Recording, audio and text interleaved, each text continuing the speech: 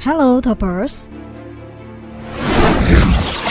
Sungai Musi adalah sungai dengan panjang 750 km yang membelah kota Palembang. Sungai Musi disebut juga Batang Hari Sembilan yang berarti sembilan sungai besar. Batang Hari Sembilan di antaranya adalah Sungai Musi, Sungai Komering, Sungai Rawas, Sungai Leko, Sungai Lakitan, Sungai Kelingi, Sungai Lematang, Sungai Rupi, dan Sungai Ogan. Sungai Musi memiliki pesona tersendiri yang membuat kagum para pengunjungnya. Namun di balik pesona tersebut terdapat misteri Sungai Musi, yaitu misteri ular naga.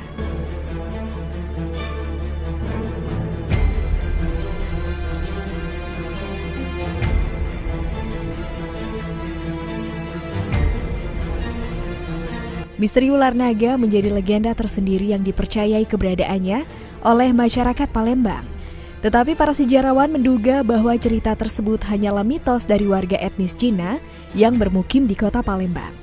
Hal tersebut dibuktikan dari tidak pernah ditemukannya catatan sejarah mengenai adanya penampakan atau penemuan ular naga di Sungai Musi. Menurut masyarakat kota Palembang, pada zaman kerajaan dahulu banyak sekali pedagang Cina yang datang untuk berdagang ke kota Palembang yang saat itu bernama Kerajaan Sriwijaya. Pedagang yang datang diterima baik oleh masyarakat Kerajaan Sriwijaya.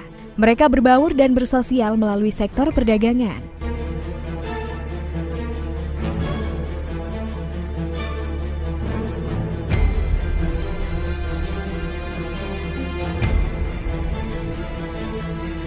Menurut etnis Cina sendiri, naga diyakini sebagai simbol keberuntungan sehingga banyak simbol-simbol naga yang dibuat oleh etnis Cina.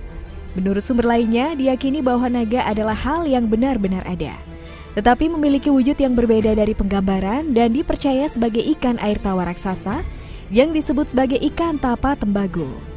Ikan tapa adalah ikan serupa ikan patin, namun memiliki tubuh pipi dan ukurannya sangat panjang. Ikan tapa memiliki kumis dan saat ia berenang, bagian tubuh yang terkena sinar matahari akan mengkilap kekuningan.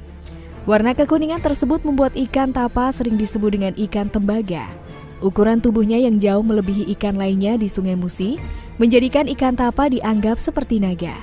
Hal ini dibuktikan dengan cerita warga daerah Bailangu yang berhasil menangkap ikan tapa sepanjang 170 cm dengan berat 43 kg dan lingkar tubuh 51 cm. Diyakini ikan tersebut adalah ikan tapa.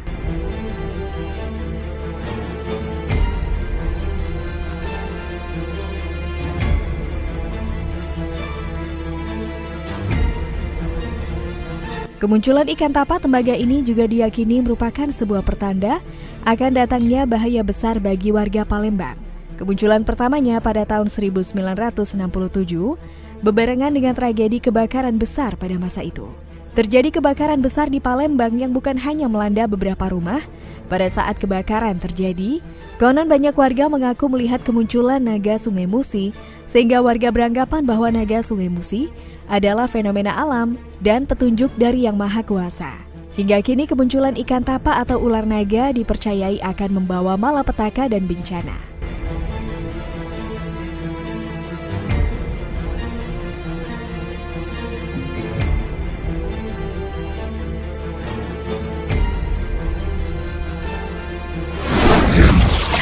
Nah, Toppers, bagaimana kalau menurut kalian tentang pembahasan di video kali ini?